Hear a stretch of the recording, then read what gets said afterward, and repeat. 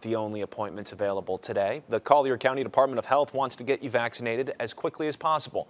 NBC2's Nicolette Perdomo is live at the North Collier Regional Park Exhibit Hall where shots are going into arms today. Nicolette, how can people get vaccinated there if they want to? Well, the DOH still has not transitioned over to the state site here in Collier County.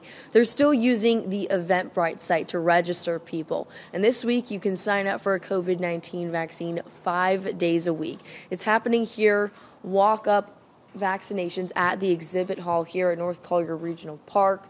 It's starting at 3 p.m. today. Now, this is a walk up site. Arrive about 10 minutes before your appointment time. Now, remember, you can sign up for the Moderna vaccine if you're 18 and up. You have to sign up for an appointment before you get one. Now, here is the Eventbrite site right here. You can no longer sign up today, but you still have tomorrow, Wednesday, Thursday, and Friday, all those chances for you to get a shot, a shot here in Collier County. I'm live in Collier County, Nicolette Perdomo, NBC2.